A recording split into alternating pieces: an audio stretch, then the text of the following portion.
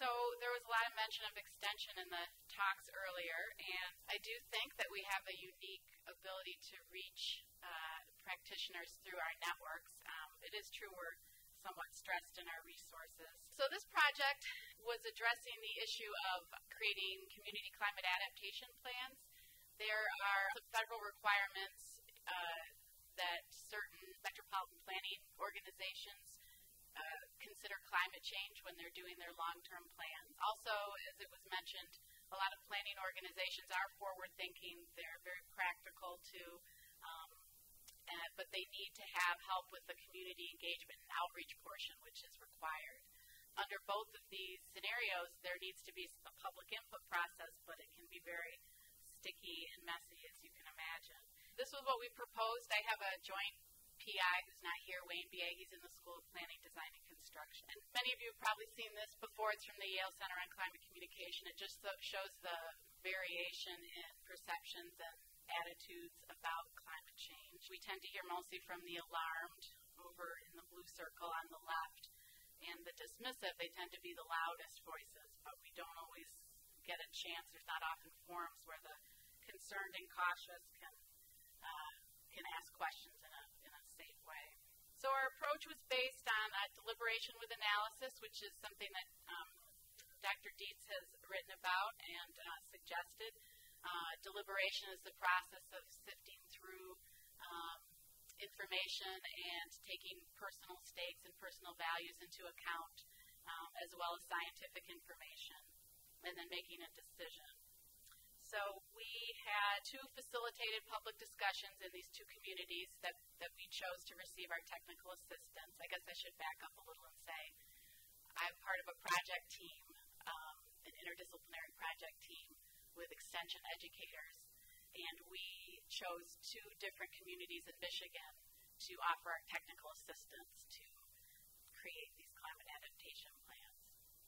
they had to, these communities, we did kind of an all call through our networks, and these communities applied for uh, our project team's help, and we chose two.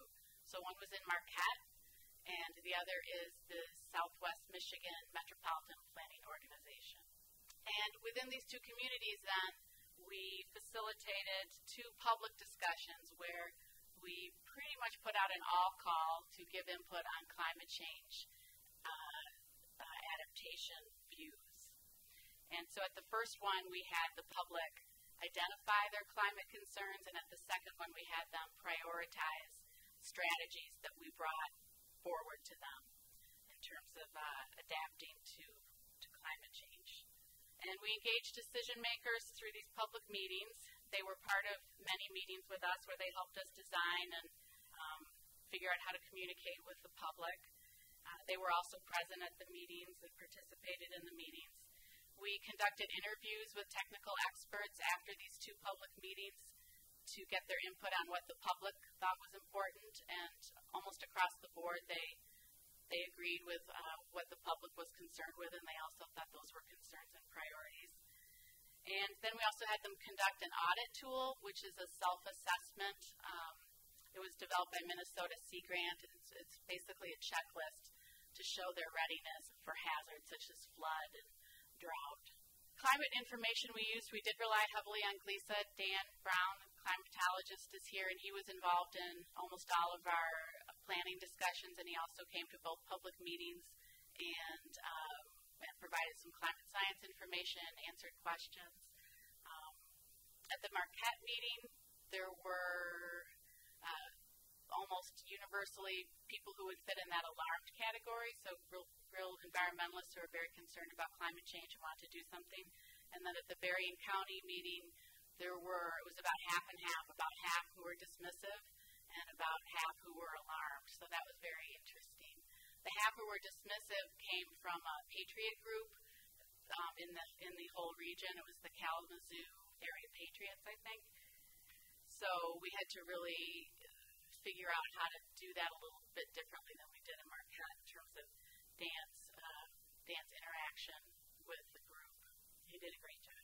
And then our outcomes, really the tangible outcome that we produced for both communities is a comprehensive report that gives an overview of what we did and of the community concerns and priorities and makes additional recommendations. And we also provided them with GIS maps based on information that the planners in the community said that they wanted in terms of risk. So there'd be like a layer for areas that were prone to flood and a layer that areas were prone to fire and